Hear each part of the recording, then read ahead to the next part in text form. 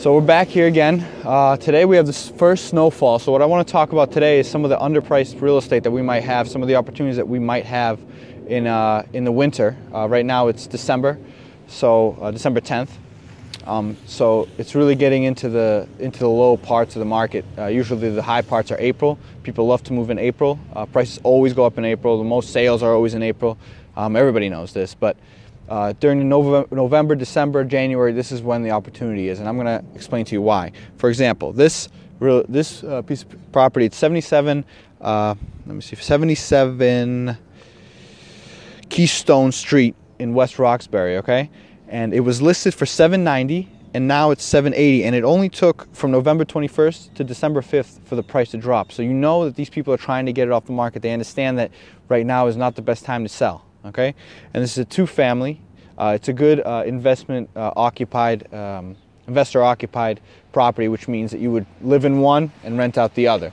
Um, you know, rents would have to be set by yourself. Uh, basically, that's what we're going to be looking at. We're going to go, go ahead and look at two other properties that um, also have this same thing where the price change goes down. Uh, a lot of time during the summer, we've seen things listed and things sold for over listing price, which means that there are more buyers than sellers in the market. Um, you, it's by basic supply and demand rules. Uh, so we're going to go ahead. We're going to go take a drive to two more properties. Uh, we're going to go take a look at some of the opportunities that I'm talking about. All right, so let's go ahead.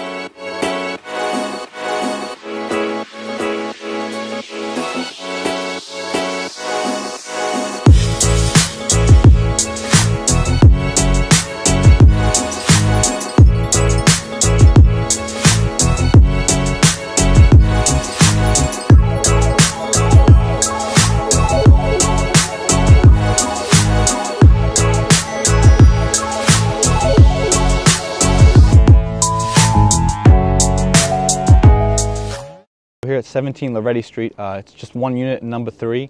Um, the listing price is 500,000, and this is another example of, uh, of it going down. Um, on November 2nd, it was listed at 530, and now it's down 30,000. It was price was changed on November 30th. So this is another good example of how things are dropping right now in this current market. Um, during this time. We'll see what happens in the spring. I, my estimate is that things are still going to go up, but this is way too high. I mean, we're talking about a two-bedroom, two-bath, 1,100 in West Roxbury is pretty nice, but we're talking about 500,000 for one unit. That's unheard of. There's definitely a bubble going on, and people need to be careful. People need to be really, really careful because uh, this better be a 10-year investment for you. Because in 10 years, it's, it might be worth 500,000 or maybe a little bit more, but not in three years. I promise you that. So um, you guys got to be careful out there. Uh, and you know, we're going to go ahead to third, uh, third unit. We're going to keep kind of the same agenda here. Um, so let's go ahead and check out the third one.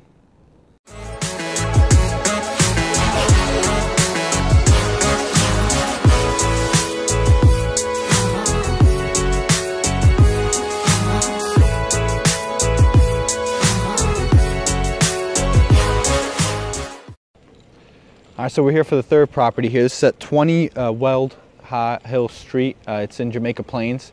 Um, it's a three family. It's two bedroom, one bath each unit, and it's listed at $800,000.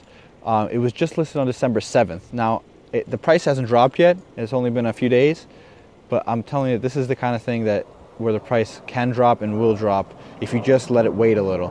Uh, this is a nice area. I mean, you can tell all the houses are comparable. Everything is nice. Um, and Forest Hills train station is just down the street.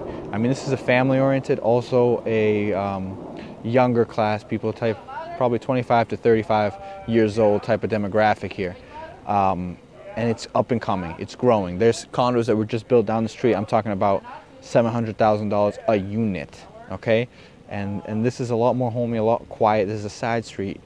Um, so this is the kind of investment that, that is interesting for me. But at the end of the day, I really like these kind of units for um, owner occupied. So you'd live in one unit and rent out the other two, and that would make more sense. But again, this is what uh, we were focused on today is trying to find deals because of the winter, because prices are dropping during the winter. And that was kind of the agenda here today. So I hope you guys enjoyed. I hope you guys learned something. Um, and uh, I'll see you next week.